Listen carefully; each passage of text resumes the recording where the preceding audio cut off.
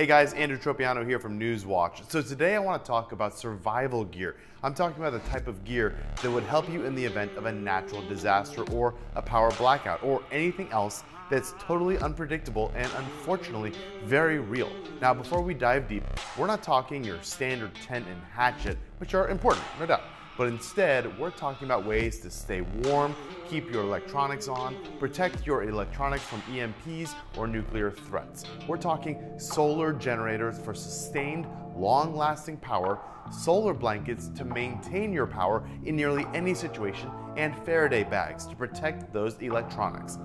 Now for today's demonstration, I will be using the EcoFlow Delta Max the EcoFlow Delta 2 solar generator, a 220 watt solar blanket, and a Faraday bag.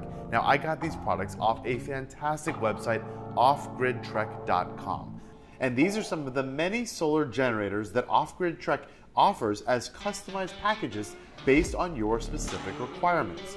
So for those of you that don't know, Offgrid Trek is the ultimate authority when it comes to providing custom, portable, and deployable solar solutions during these very interesting times. So first up, let's talk about why you need a generator. Generators like the EcoFlow Delta Max store up to 2016 watts of power in their enormous batteries, and some can power up to 15 different devices at once with its 15 output ports. Now, there are other options on the website that are smaller and more affordable as well, like the EcoFlow Delta 2. They can store up to 1,024 watts of power and can charge up to 15 devices as well.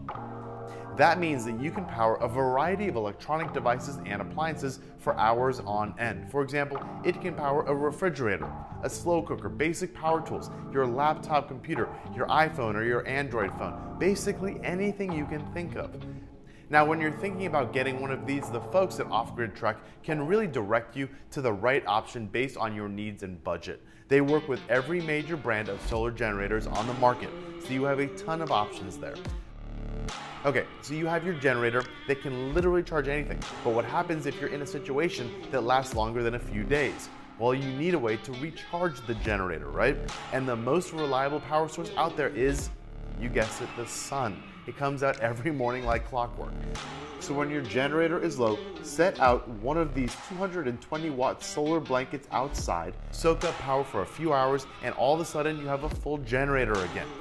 And unlike most solar panels on the market that stop working when covered 30% by clouds or shade, this blanket is designed to work without direct sunlight even when it's raining, snowing, or if there is smoke in the air from fires.